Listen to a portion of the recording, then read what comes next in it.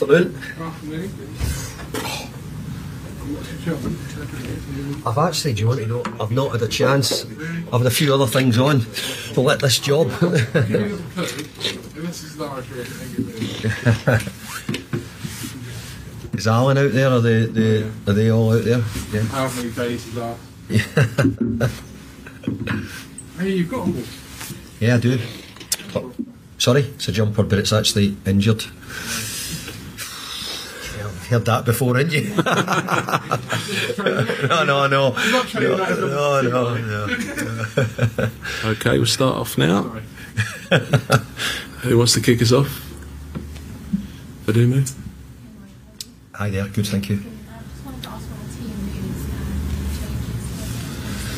changes. No, well, uh, we'll just need to see how Emerson is. We're not sure how he is yet. Uh, so that would be probably the uh, main one. Maxi Cornet's back here at the moment after uh, being away getting some treatment. So, but he, he won't be fit for this game, Maxi.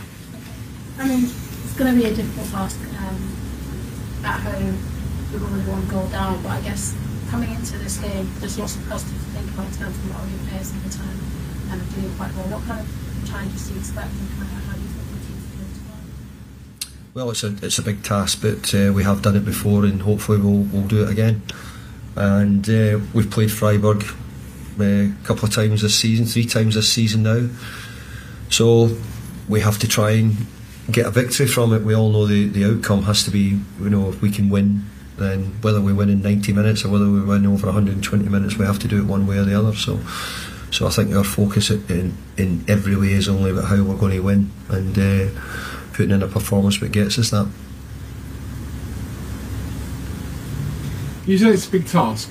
I mean, I know you're being respectful to the opposition, but you have already beaten them at home, and you're not that used to coming from behind in European t- ties.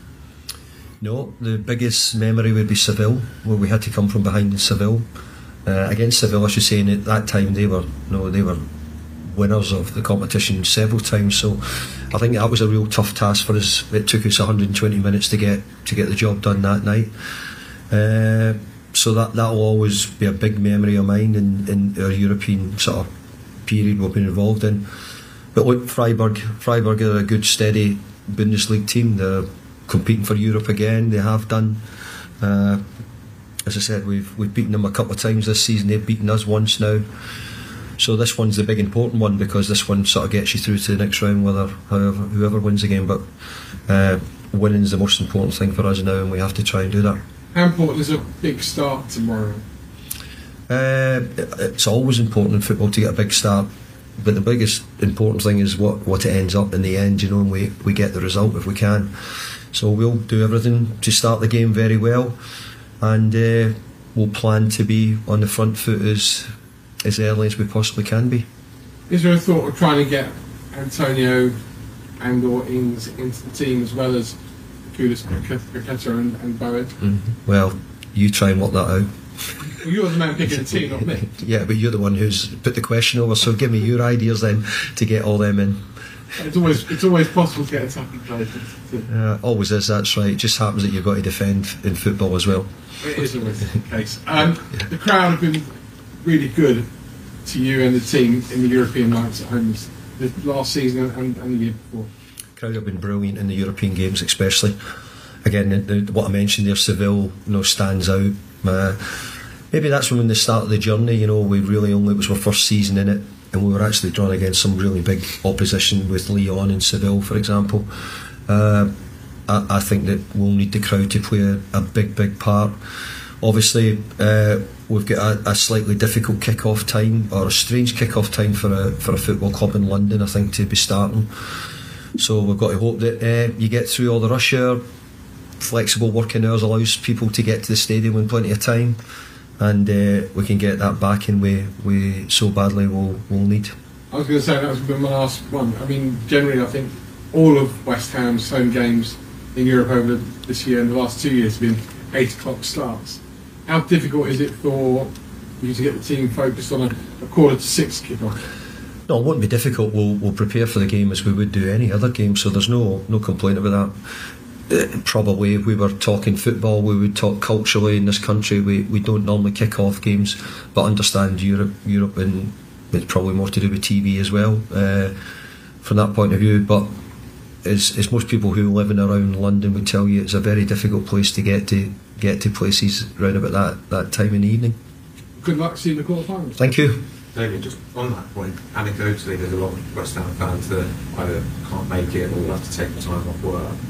Sort of recreating that Sevilla atmosphere, is that going to be harder if No, I think if we perform well, we'll get that atmosphere. So we, we don't want to focus too much on, on the other the other parts of it. But certainly, we we need to give the supporters something to be. We, we did in the second half against Burnley, you know, and we got a a lively response from the players and a lively response from the support as well. So we need to give them something which uh, which they they can get behind. But obviously, you know, when a goal down, you need your home support we had a penalty decision which didn't go in our favour in the, in the last kick of the ball, and I just don't know how much no the home support played in that, that not getting given. So we need our support to, to help us as well.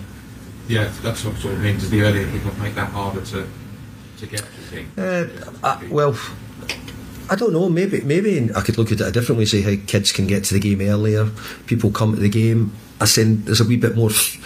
Years ago in our country, we would have very rarely played. No, everybody worked from nine till five, and it would have made all these things impossible. I think there's a bit more flexi hours. I believe I might be wrong in saying that. Uh, so it could be that. Uh, no, it might be that it's great, great kick-off time, and it might be something which people enjoy because more young people can get to the game. But let's be fair, we play quite a lot of games early in, in Europe. Sometimes it's to do with the time difference, sometimes it's not. So uh, maybe if we get an early game, sometimes we have to accept that as well. Um, six or seven of your players still here, I think, or who played in that Seville game. How important could that experience be? Well, I think that we're gaining good experience in Europe, but we've also got a, probably a team full of international players. If we've been honest, nearly all the players at some time have played international football. But I think the games in Europe, uh, I think we're learning more. Uh, I think we're understanding a bit more how to how to control it. We'll need to do that tomorrow night. It's it's easy to say put all your attacking players out because that's what you need to do, but happens to have that we have another opposition to play against and make sure that we, we play the game over 90 minutes and and try and win the tie over that period. So we'll do everything we possibly can to to get through in the, the competition, and uh, it's a competition we we really want to continue to do well. We've had two or three magnificent years in it, and we want to keep it going. On Danny, obviously, big part he played at the weekend. Does he have a big role to play this season? I think we've always planned for Danny to have a, a big role to play. I think Danny knows probably you know came into a game which suited. We were the, the team in top, lots of uh, penalty box entries and opportunities, and who could, who had the, who had the tidy finishes and who could finish well. Well, everybody knows Danny Ings is great at that, that part of the, the game. There's been other games where we've not had as much of the ball, not as much round the box, where I don't I don't see Danny giving us quite as much as we would require there. But uh, he done a great job coming on. It's what we hoped. We hoped Danny Ings would get us goals when he comes on uh, or starts. But they're probably his first goals for a while. So pleased for him. And he, he was unlucky maybe not to score more than he, more than the one goal he got. Catherine? Just on Kalvin Phillips and James Ward-Prowse, obviously they're both hoping like England squad tomorrow, but whether it's kind of good news or bad news, do you think that is that fit for selected to start in terms of kind of if they're not selected, can Mm. go out there and show like this is where I'm? Yeah, they're two, they're two really strong uh, English players who've been in the round England squad for, for long periods of time. So I don't pick the England team, but you'll always be judged on your performances and how you play. There's no doubt whether you know you're playing for West Ham or whoever. You have to play well to be selected for England, and uh, hopefully there's there's a chance that they can both be selected. Just in terms of obviously this is the third year of successful video playing football, you're going back to that similar game. That kind of probably set the bar, I guess, and I guess the expectation has risen since then. Does it become kind of more difficult to kind of meet those, I guess, growing expectations? Yeah, uh, yes and no. I think when you're in Europe, I think you never know. I mean, look, you, you talk about it, but our, our first game I think was Dinamo Zagreb away. and it felt like, oh, what a game away from home, and you know the way we treated it, the players. You know, we won away from home in Zagreb, which was a, a huge result. Nevertheless, you know, we the reason we got a game against Seville was because of how well we had done in the group and how well we had played against those other teams. So that was our first years in it, and uh, first year in it, I should say, for a long, long time. And I think when it got to the the the group of the the, the last sixteen and then the quarterfinals, etc. I think you know people were excited before that. We were nearly had sixty thousand at every game in Europe in the first year. It was fantastic. So uh, we want to keep that up, and uh, we're not changing. We're still trying to win it. So we want everybody behind us. David, you've spoken before about sort of after three years turning West Ham into a club that from overseas seen as a bigger club in Europe now. Are these the pictures where you need to tell the players to go out and act like it, put their chests out, really show?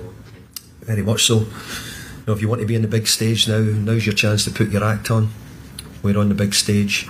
Put show your act. Show. If you can't perform, don't go on stage. And just on Kalvin as well, because obviously it's a big part of him coming here was to keep his place in the squad, help us out, and help his chances with that. Could you hope that having had to take him off at the weekend at half time, that Mhm. you might have settled a bit quicker?